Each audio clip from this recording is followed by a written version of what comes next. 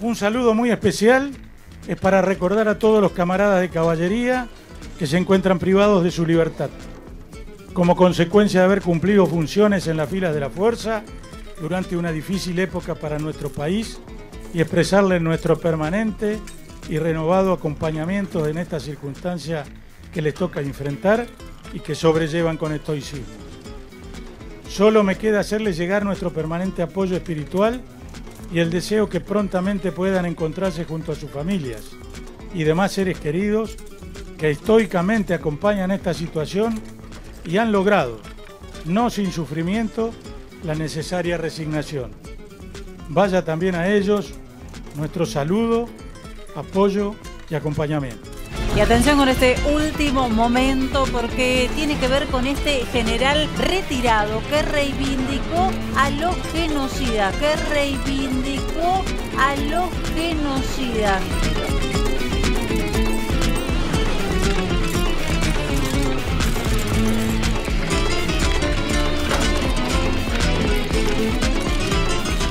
Vos sabés que lo pensé mucho en hacer a este vivo. Y te voy a explicar por qué. Cuando me enteré de la noticia, que ahora vos te vas a enterar, o seguramente ya te enteraste, dije... No, no voy a hablar del tema porque es meterte en quilombo y otra vez van a salir a hablar con pelotudeces. Y después me dije, no. No, vos no te podés callar. Cuando uno ve algo que es injusto, que no es justo, que está mal, uno lo tiene que hablar. Aunque esté equivocado, tiene que dar su punto de vista. Y desde hace un largo tiempo, en nuestro país, en la República Argentina, lamentablemente nos acostumbramos a quedarnos callados por miedo a... Ejemplo, por miedo a no hables de tal tema. Por miedo a, a no voy a dar mi opinión sobre tal cuestión social. Y eso es una cagada. Porque cuando te querés dar cuenta, ya directamente no podés hablar de nada. Y sos un robotito o un robotite que se mueve en un ajedrez completamente manipulado.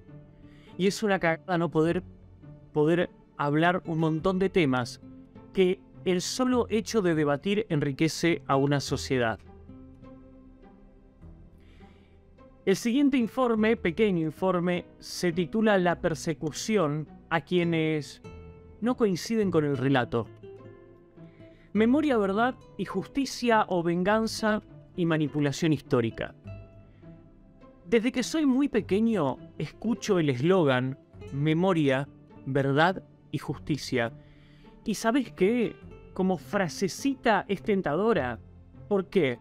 Porque la palabra memoria desde el vamos, apenas la escuchás, te hace sentir empatía, la memoria, los recuerdos. Es una palabra empática. Eh, voy a leer el concepto de memoria, si ustedes me permiten. La memoria es el proceso de almacenamiento para recordar información. Hay diferentes tipos de memoria. La memoria de corto plazo almacenada en tu cabeza, que recopila información por unos pocos segundos o minutos, y la memoria de largo plazo que almacena por un periodo más largo de tiempo. Ahora, si a la palabra memoria es un significado, lo llevas a la historia, chicos, eso es una idiotez. Vos no podés reconstruir la historia de una nación, de un país, solo con la memoria. Es una locura. La historia se basa en qué? En fuentes, en datos, en estudios. La memoria, no, la memoria un carajo. La memoria no es historia, es lo que vos recordás, que no es lo mismo que yo recuerdo. Y que si estábamos en el mismo lugar, tu recuerdo puede ser muy diferente al mío.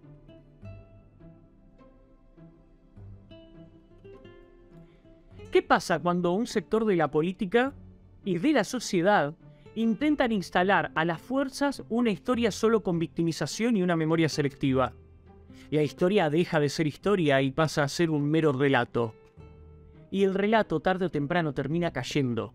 No importa cuándo, el relato cae. Y luego, ¿qué pasa con la sociedad esa que se cansó del relato y comienza a desconfiar de todo? Ya no confías en nada. Perseguir a quienes no se atan al relato. Desde hace un tiempo, la sociedad argentina, en un gran porcentaje, empezó a despertar y a cuestionar la memoria que intentó imponer el kirchnerismo con el relato de los 70, la juventud maravillosa, los militares asesinos, genocidas. Muchos jóvenes ahora dicen, pará, pará, la cosa no fue tan así. Y con esto no quiere decir que esos jóvenes están reivindicando ni a Macera, ni a Videla, ni un golpe cívico-militar. No, no. Los jóvenes están diciendo, pará, los milicos no cayeron en un, plato volador. Una mayoría social lo apoyó. Y, la subversión también mató. No, o sea, nos metieron a la sociedad en medio de una guerra interna que la sociedad no lo había pedido. Y cuando uno se cuestiona eso, ya empieza el otro, el otro, el otro, y el otro empieza a decir, sí, yo tuve un tío, yo tuve una hermana que fue a la facultad, le pusieron una bomba y la mataron. Y, se empieza, empieza una ebullición, de verdad, de la historia. Y todos empiezan con sus propias memorias. Vamos a la información. Hace unos días, el martes, el general retirado y héroe de Malvinas, Rodrigo Soloaga, en su cargo de presidente de la Comisión de Retirados de Caballería, dio un discurso donde se solidarizó perdón, con aquellos soldados argentinos que combatieron la subversión, cumpliendo órdenes no solo del proceso militar, sino de aquellos soldados que también cumplieron la orden del gobierno del general Juan Domingo Perón, como también de la presidente María Estela Martínez de Perón y de Isabelita, ¿A qué se estaba refiriendo el general Soloaga el martes anterior? A aquellos soldados que están detenidos sin juicio previo. Para aquellos que no entienden un carajo de derecho ni de constitución nacional, yo les explico. Hay algo que se llama principio de inocencia, siendo que nuestra constitución nacional afirma que ningún habitante de la nación argentina puede ser penado sin juicio previo fundado en ley anterior al hecho del proceso. Ninguna duda cabe en el sentido que ese juicio previo es el que debe dar paso a una condena penal. Si no hay juicio previo, si no hay condena, ah, bueno, te pueden detener. Y hay un montón de soldados que cumplieron órdenes combatiendo la subversión que hoy están detenidos. Y eso es un problema en la justicia argentina y en la política argentina. Porque ¿sabes qué? De ahí se desprende el término presos políticos. Y con esto no estoy diciendo, no, pero vos estás defendiendo. No, no, estoy hablando de los casos de detenidos que pertenecieron a las Fuerzas Armadas y no tuvieron juicio previo. Fin. Así que deja de gritar. El general Soloaga, por las afirmaciones en las que reivindicó a sus pares presos políticos, como lo llamó él, el ministro de Defensa, Jorge Tayana, ordenó la remoción del general retirado Soloaga, en su cargo de presidente de la Comisión de Retirados de Caballería. Obviamente en las redes miles y miles de usuarios, sobre todo lo que a mí me sorprendió que estuve viendo, sobre todo en Twitter, la cantidad de jóvenes que salieron a respaldar a Soloaga y que tildaron al gobierno de tirano y dictatorial, de censurador de perseguir ideológicamente.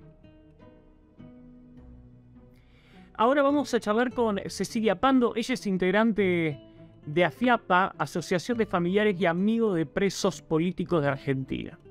Bueno, primero que nada, gracias por tomarte el tiempo ahora de charlar un poquito, para charlar un poquito más un sábado, pero creo que este tema es, es importante, ¿no? Obviamente, la verdad que la agradecida soy yo, porque es un tema muy espinoso que muchos periodistas le rehuyen a este tema. Nadie se quiere comprometer y hablar de lo que está pasando, que es lamentable. Y está bien que se hable de estas cosas, ¿no es cierto? Para que los chicos escuchen todas las campanas este, y después saquen sus propias conclusiones. Cecilia, eh, bueno, a ver, lo que nos trae acá es el caso del general de caballería retirado eh, y héroe de Malvinas, Rodrigo Soloaga. Él estaba dando un discurso a sus camaradas, sus colegas, y en un momento, a ver, él no, hoy los medios están titulando el general que reivindicó el terrorismo de Estado. Yo la verdad vi el discurso completo de Soloaga y él habló de aquellos soldados que cumplieron órdenes bajo gobierno democrático y militar y que están detenidos eh, sin causa, sin juicio.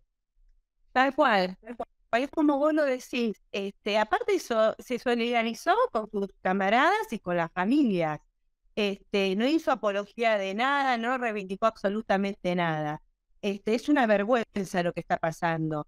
Si vos me preguntás a mí, bueno, los militares, en qué condiciones están detenidos, para mí todo el proceso de todos los militares, me gusten algunos, me gusten unos más, otros menos, es totalmente ilegal, ¿sí?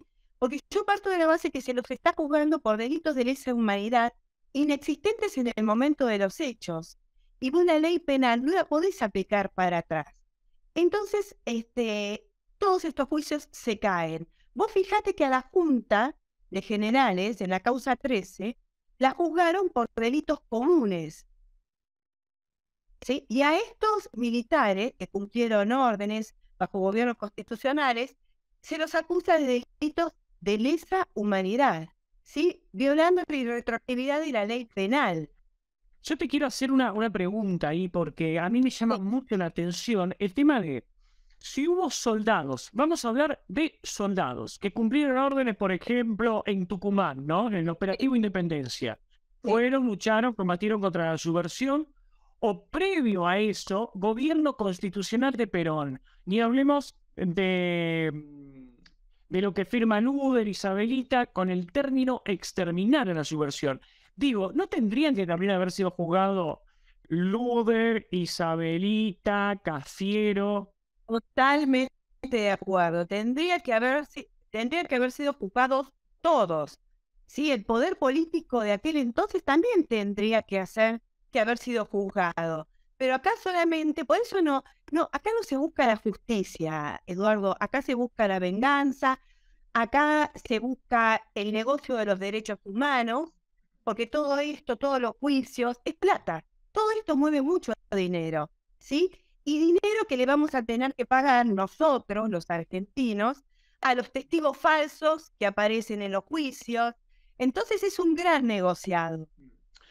En algún momento, un responsable, digamos, político, se sentó en el banquillo de los acusados. No. Eh, quiero que entremos eh, directamente al caso Soloaga. Solo yo lo que había leído es que él ya había pedido el retiro. ¿Y puede Tayana, el ministro Tayana, despedirlo? Claro, él pidió el retiro, pero después hay un artículo, si no me equivoco, 62, este, que pueden volver a ocupar funciones dentro de la institución. Este, y, bueno, y ese es el artículo que le retiró este, Tayana y lo dejó, sin trabajo. Por eso lo he hecho acá ¿Viste? Es la dictadura del pensamiento único. Tenés que pensar como ellos, si no, estás afuera. Y justamente Tayana, que toda su vida, bueno, eh, su vida el delito. Porque ahí quiero, quiero, quiero entrar, Cecilia, porque Tayana declaró a medios periodísticos que no iba a permitir estos hechos, cito textual, estos hechos aberrantes para la democracia. yo quiero que entremos primero, ¿quién es Tayana? ¿Quién es el ministro Tayana? Tayana es un terrorista, Montorido, que está acusado de poner una bomba en el bar El Ibérico donde murió una persona. Y también fue partícipe del necesario de los 21.642 atentados terroristas perpetuados en nuestro país y también de las 17.000 víctimas del terrorismo que murieron. O sea, Tayana fue un terrorista. Jamás pidió perdón, jamás hizo mea culpa, ocupó cargos y sigue ocupando cargos en el gobierno y jamás dijo absolutamente nada. No pidió perdón a las víctimas. O sea... Eh, otra funcionaria que salió a hablar es, eh, esto lo digo yo, ¿eh?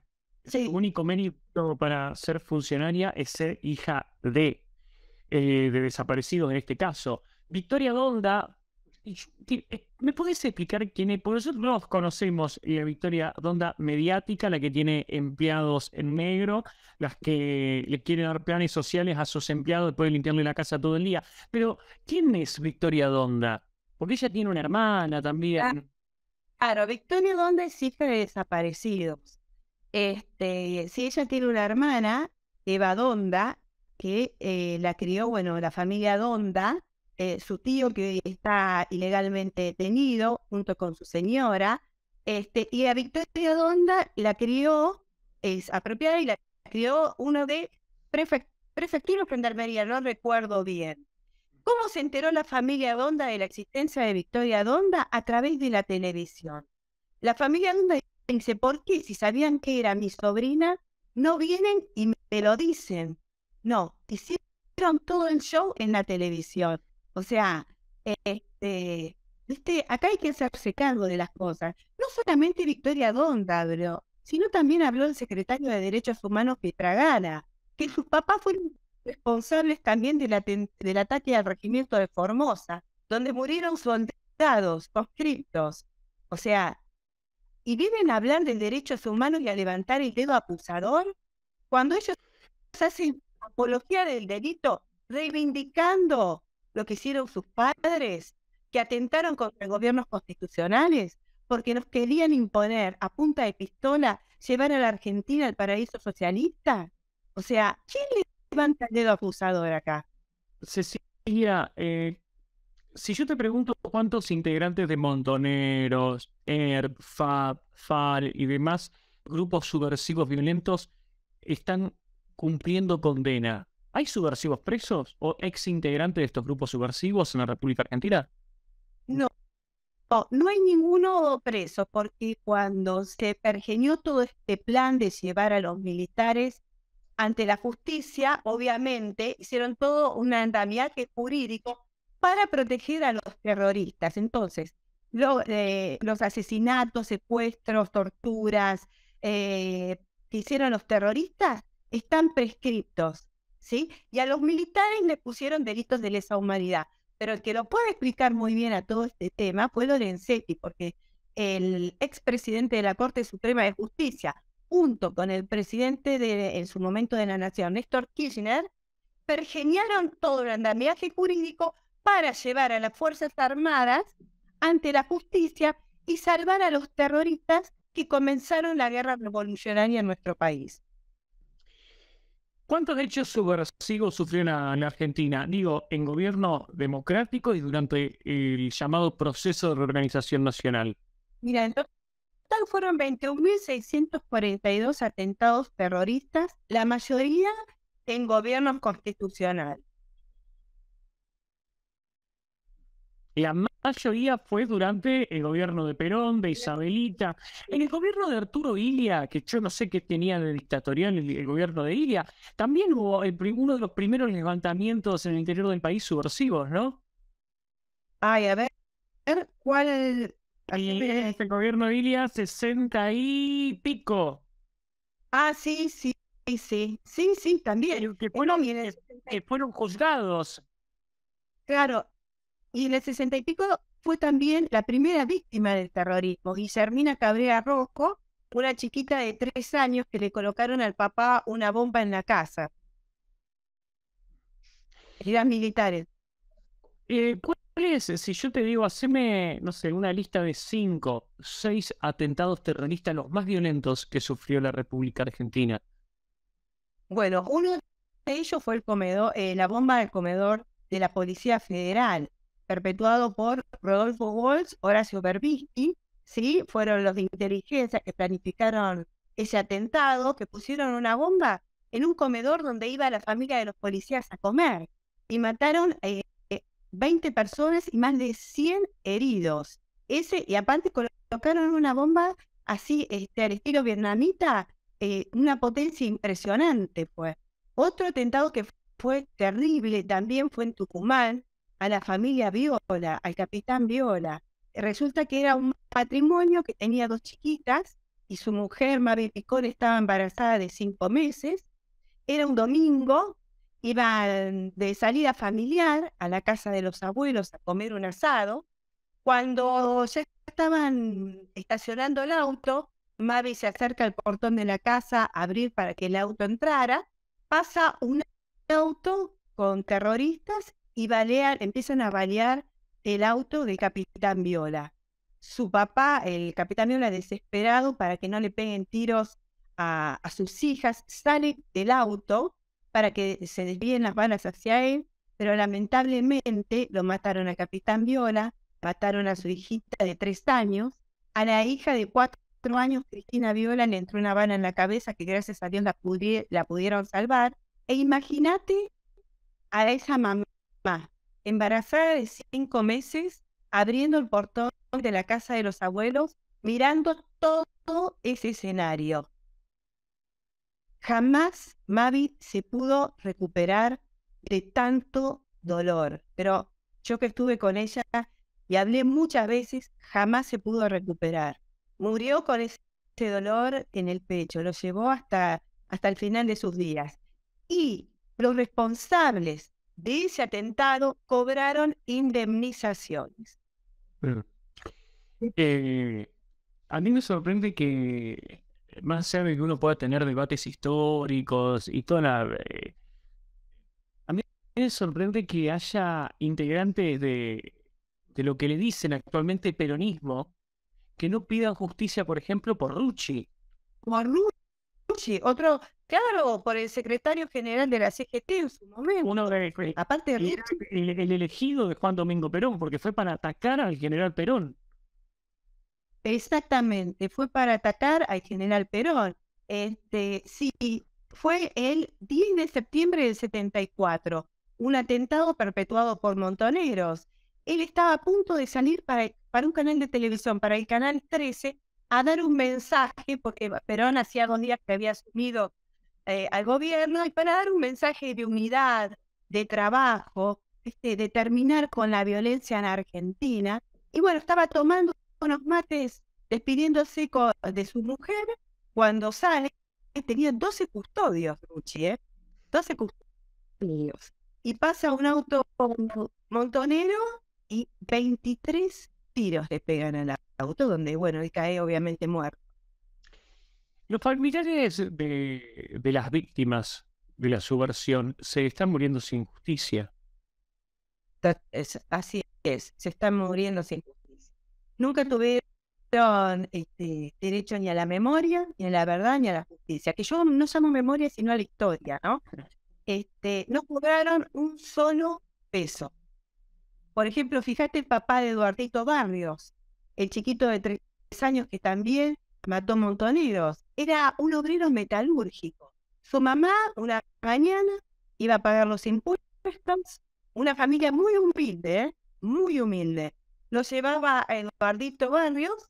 Estando en el banco, el chiquito quería, en la puerta del banco, quería tomar un helado y se cruza al kiosco para comprarle un helado y en ese momento escuchan una ráfaga de tiros porque montoneros querían matar, iban especialmente a matar a un policía que estaba en la esquina eh, del banco.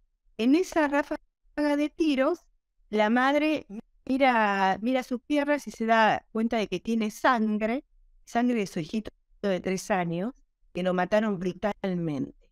El policía cae herido, pero este auto que llevaba adentro a dos terroristas, la mujer no se conformaba con el policía herido que va y le tira nafta y lo prende fuego, con vida todavía. O sea que murió Eduardito Barrios de tres años y asesinaron a un policía también. Así se manejaba la eh, Vos sabés que es muy fuerte escucharte porque eh, qué diferente hubiesen sido todos estos años si eh, en las escuelas secundarias sobre todo se hubiesen dedicado a informar para no volver a repetir errores y no adoctrinar, porque estoy seguro que lo que vos, los casos que estás contando, el 99,9% de los pibes menores de 28 años no tienen Perdón, no, ni puta idea. No, no tienen la menor idea, pero gracias a Dios, mira, Eduardo, están las redes sociales y hay gente como vos y muchas otras personas que a través de las redes sociales comienzan a poner estos casos, comienzan a contar estas historias y los chicos ahora ya no se chupan tanto el dedo como antes. Se dan cuenta de que aparte todo el negociado que hicieron a raíz de los derechos humanos, las indemnizaciones millonarias que se hicieron ricos a costa de esta historia triste de la Argentina, muchos están dando cuenta y están investigando. ¿sí? Este, mira, te voy a contar un caso que también fue terrible y que lo escuché a una ex guerrillera pedir disculpas que es el caso, no sé si eh, lo conocéis, de la familia Klein, Walter Klein, que era secretario de Coordinación y Planificación en Economía, en la época de, los militares. Este, bueno, él, eh, la señora tenía, estaba pánico, no quería que su marido eh, ocupara ese cargo porque tenía mucho miedo a lo que le pudiera llegar a pasar. Este, le dijo, bueno, si aceptas el cargo, te pido por favor que quiero estar en una casa que tenga mucha seguridad, porque ellos tenían cuatro chicos chiquitos. Entonces, este, bueno, le pusieron seguridad y él comenzó a estar en, sus funciones. La mujer comenzó a ver movimientos, de, en Olivos vivía ella, movimientos extraños en la esquina de la casa, empezó a ver chicos que se juntaban, no conocidos del lugar, Después vio, empezó a comer una camioneta atrás del jardín que se ponía porque ella podía ver, porque tenía un alambrado en el fondo de su casa. Y cuando llamaba a la policía, la camioneta se retiraba. Después intentaron golpearle la puerta dos veces diciendo no sé quiénes eran, que ella nos llamó al marido al ministerio para decir, vos mandaste a esta gente, no, no mandé. Bueno, una, una mañana explota la ventana, no, antes que explotara la casa, pasa un auto y tirotea la casa de Walter Clay. Cuando se escuchan esos eh, los tiroteos, lo escuchan, el padre agarra a los chicos, estaban eh, preparándose para desayunar. El padre agarra a los chicos y los lleva a la habitación. Las empleadas, tenía dos empleadas, que salen corriendo de la casa y atrás sale uno de los chiquitos, asustado, atrás de la empleada. Cuando sale este chiquito, se encuentran con, uno de los terroristas que estaba disparando a la casa y le pega a punta de pistola, lo, lo, lo, hieren con la pistola y lo hacen meter adentro de la casa para que explote con toda la familia, a un chiquito. Entonces, bueno, detonó la bomba y quedaron tipos, bueno, sumergidos bajo los escombros. Hay fotos en internet eh, de eso. Este, eh, y hicieron, vos sabés que mientras vos estabas contando este caso, yo pensaba, qué trabajo fantástico, lamentablemente para la maldad, hizo el Estado argentino por ocultar a estas víctimas. Eh, hay soldados, ahora presentemos al caso Soloaga, hay soldados argentinos que combatieron la subversión, que están detenidos sin condena. Sí, hay un montón, o sea, y generalmente eh, casi ninguno tiene condena firme en esto. Em, es una vergüenza, pero te voy a contar un caso también para que la gente se entere de cómo poco son estos juicios. Uno, eh, un militar es condenado, yo estaba presente en ese juicio y la verdad que me dio vergüenza. Un testigo por parte de la querella dijo, comentó que fue interrogado en aquella época, que lo torturaron, que en el momento de la tortura, escúchate esto porque es para una novela, su alma se desprendió de su cuerpo, comenzó a elevarse, y no te estoy mintiendo, y se le cae, tenía los, los ojos tapados, se le cae un poco el, eh, el trapo que tenía en la venda de los ojos, y llega a ver el nombre de la persona que lo estaba torturando. Yo me agarré así no lo podía creer. Dije, si los jueces tienen en cuenta esto, no sé, estamos perdidos. Bueno, vos sabés que a mí me sucedió en un... Me sucedió editando un informe sobre las irregularidades de muchos de los juicios que se hacían en el interior del país. Hice el caso Tucumán, eh, no, me va, no me va a salir el nombre ahora del, militar. donde directamente uno de los fiscales les decía a las víctimas, no digas enfrentamiento, porque si no te pones en igualdad de condiciones. Y quedó el micrófono abierto y quedó grabado. No sea boludo, agarra y decí que los encerraron, que fue una encerrona.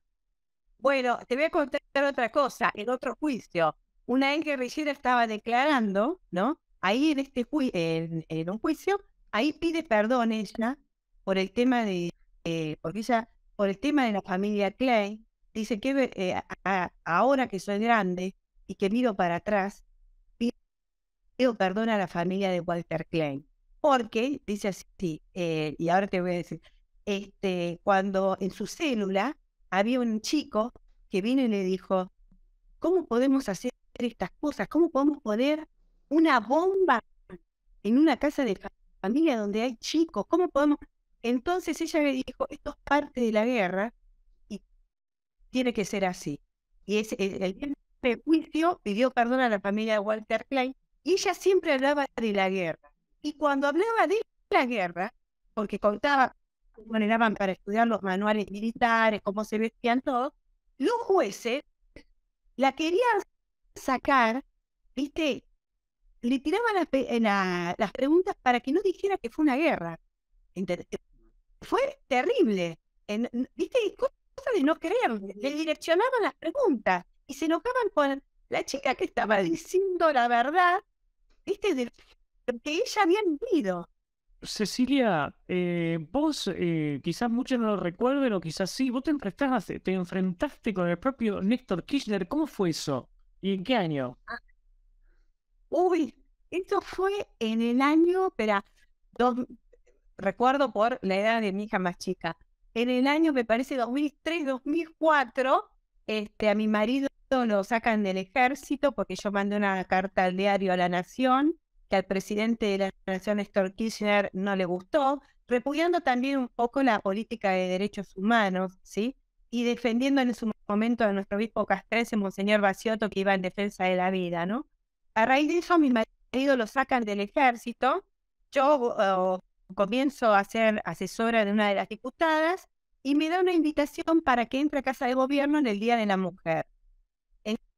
Entonces Néstor Kirchner comienza a hablarme a todas las mujeres, felicitándolas, diciéndoles que bueno, que era el momento de, la libertad de expresión, de que podían opinar libremente. Y yo me quedé, wow, eh, me quedé sin parar, me quedé muda en ese momento. Entonces levanto la mano en casa de gobierno y le digo a Néstor Kirchner, le digo, señor presidente, discúlpeme, a mí no me pasó eso, porque por pensar distinto, lo sacan a mi marido del trabajo y me dejan a mí con siete chicos en la calle.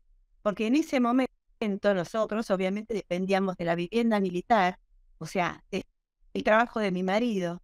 Perdimos todo, ¿sí? Este, fue muy duro, te juro que me fue muy duro, este, y bueno, sí, me enfrenté, eh, se lo dije, se lo tenía que decir, bueno, y a raíz de eso comenzó una persecución terrible en mi familia. ¿Por qué? Perdón que te interrumpa. ¿Por qué, por qué te metiste en, en esta lucha por la verdad? Digo, porque tranquilamente podría haber pasado como cientos de casos que vos te quedabas callada o, mirabas para otro lado y, y, listo. ¿Por qué te metiste tanto? Porque yo quiero un país donde haya una justicia ¿viste? Donde haya justicia, donde se cuente la verdad, donde nadie pierda el trabajo por pensar distinto, ¿sí? Somos todos grandes, o sea, quiero mirar hacia el futuro. Hoy lo que le pasa a los militares que están ilegalmente detenidos, mañana me puede pasar a mí, Eduardo. A vos también, te fabrican una causa. Eduardo, a vos te pasó. Eh, a mí también me pasa. Te fabrican una causa y vamos a juicio. ¿Y quién te salva de eso? Entonces, lo que pasó con los militares dejo una puerta entreabierta para que el día de mañana le pase a cualquier ciudadano. Eso no lo podemos permitir. ¿sí? O sea, nosotros queremos un país donde se respete la independencia de poderes, donde se cuente la verdad, donde podamos mirar hacia adelante. Basta, esto pasó hace 40 años, hagamos un mea culpa, tanto los militares como las organizaciones terroristas. ¿sí? Y miremos hacia adelante. Cualquier país, mira, los países serios lo han hecho. ¿Por qué nosotros seguimos enquistados en el pasado? Y seguimos enquistados en el pasado por el curro de los derechos humanos. O sea, tenemos que terminar con esto. ¿Crees, Cecilia, que las nuevas generaciones están buscando la verdad? ¿Ves o sea, digo, cuando vos empezaste con esta lucha, al día de hoy, ¿qué cambió, por ejemplo? Sí, ha cambiado muchísimo, muchísimo. Veo a los chicos más interesados para que uno les cuente lo que pasó en aquella época. Te lo digo yo porque hago charlas en casa donde tratamos estos temas. Invito de los dos lados.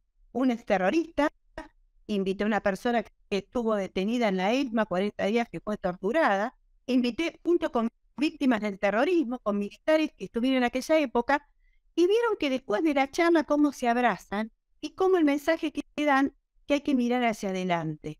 ¿Entendés? O sea, y, a los chicos los veo interesados y me dicen, tenés que seguir con esto, hay que seguir dando a conocer la verdadera historia, ¿sí? Porque, o sea, yo, mi amiga, que yo la quiero muchísimo, estuvo del otro lado y estuvo detenida y la torturaron.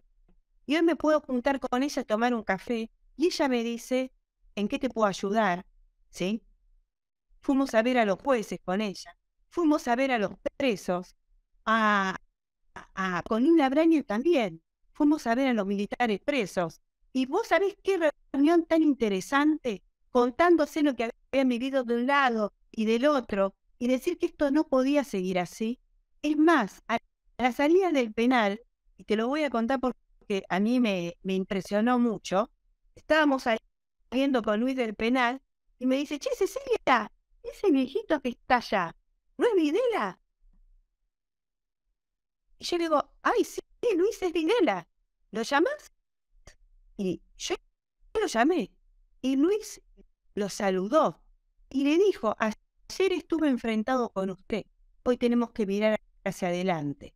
Y te digo, eh, eh, Eduardo, que fue emocionante. Dice que no teníamos celular porque no podés tener celular para sacar una foto. Pero ese es el país que yo quiero, ¿entendés? No que sigamos enemistados, sino que miremos hacia adelante, que esté la concordia por encima de todas las cosas. Si los chicos, mis nietos tienen que crecer conociendo la historia y no en la venganza y en la injusticia. Eh, eh, es muy interesante y, creo que con esas palabras para cerrar es, es fantástico. ¿Cómo crees que va a terminar el caso Solo Haga? Bueno, Mientras esté este gobierno, lamentablemente perdió su trabajo. Y mientras esté el ex terrorista Tayana en defensa, no esperes nada bueno de ellos porque jamás hizo un mea culpa ¿sí? de todos los atentados que él cometió o fue partícipe necesario. Salvo que venga un gobierno y que tenga lo que tiene que tener para cerrar las heridas del pasado ¿sí? y mirar hacia adelante. ¿Sí? que no le tengan miedo a esa izquierda ruidosa, bulliciosa, que hizo su negocio con todo esto, ¿sí? que sea capaz de cerrar estas heridas y que miremos hacia adelante. Para cerrar, ya esto fuera de todo este tema, muy destruido el ejército, ¿no? Actualmente. ¿Cómo, cómo? No te, no te escuché, justo. Muy destruido el ejército actualmente, ¿no? Y está destruido, está muy destruido el ejército, está muy dolido con sus camaradas, con los que están ilegalmente detenidos. Y la verdad, Eduardo, entre nosotros, no tienen nada. O sea, eh, lo han destruido y lograron destruir a, la institución. Y eso era un plan que ellos tenían y lo están llevando a cabo. Pero gracias a Dios se termina. Y, y se termina y esperemos que sea para siempre, que no vuelvan nunca más esta gente que ha destruido el país, que tenemos más de la mitad de, de, la población sumergida en la pobreza.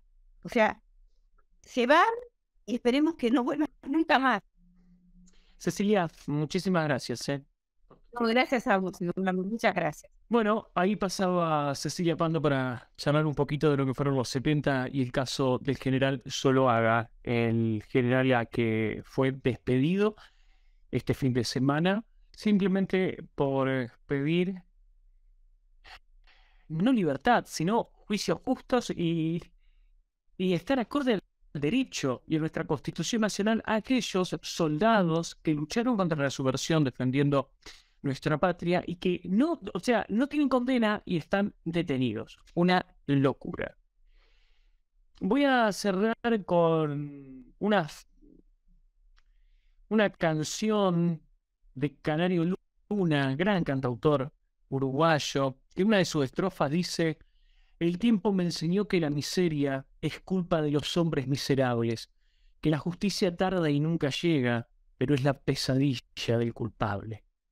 El tiempo me enseñó que los valientes escribirán la historia con su sangre, pero la historia escrita de los libros se escribe con la pluma del cobarde. El tiempo me enseñó que desconfiara de lo que el tiempo mismo me ha enseñado. Por eso a veces tengo la esperanza que el tiempo puede estar equivocado. Por último, yo lo voy a decir, gloria, honor y reivindicación para aquellos patriotas, soldados argentinos que lucharon contra aquellos argentinos que querían imponer un sistema comunista a través del terror, de la violencia desmedida y de la mentira absoluta. Nuestro completo apoyo a aquellos soldados valientes que hoy cumplen un encierro sin condena, quienes buscan la verdad, la historia y la justicia sin revanchismo político en una sociedad que gracias al Santísimo, a Buda, a Alá, está despertando. Se les terminó el relato. Fin del comunicado. Será justicia.